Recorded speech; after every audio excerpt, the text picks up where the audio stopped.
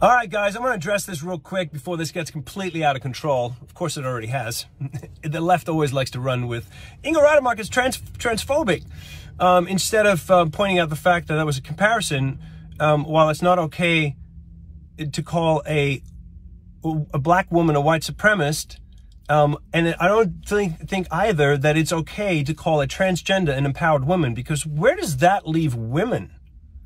Think about that for a second. Where does that leave women? Women have fought so hard to get on a level playing field with men. They weren't allowed to do anything back in the day. They, they were nothing. Um, so I just, I don't agree with that. But I do apologize for not crossing out dude and putting transgender. So I, I apologize for that because um, me personally, I wouldn't have written it that way. It was somebody else's post. Uh, again, that's not an excuse. I should have just crossed it out. But the comparison there is um, is just pointing out the hypocrisy of the left wing media. Um, I just don't agree with it.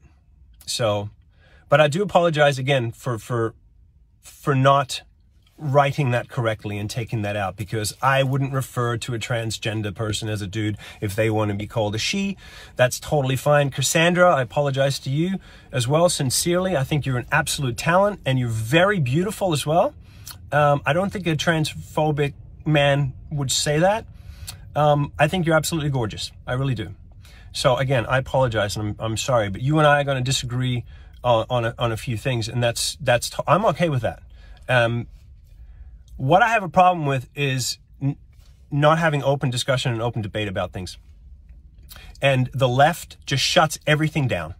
And I have a real problem with that because uh, I don't like bullies. Um, and again, I was wrong about posting it like that. I should have crossed it out and put transgender. So, that said, um, general hospital status, I will comment on that later. I just don't have time right now. I'm running around town there. I got a lot of things to do.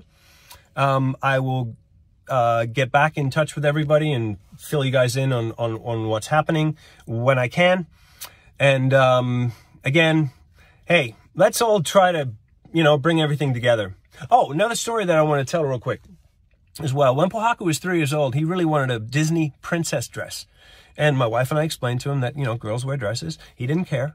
He wore that princess dress, high heels, tiara, a wand, walked all over the property, so proud because he wanted to look pretty. I don't think a transphobic dad would buy his son a Disney uh, princess dress. So, um, there you have it. Um, I'm an open book. I am open to discussion and debate about everything and anything. And I think that we should always be open to that because that is a democracy. Everything else is not.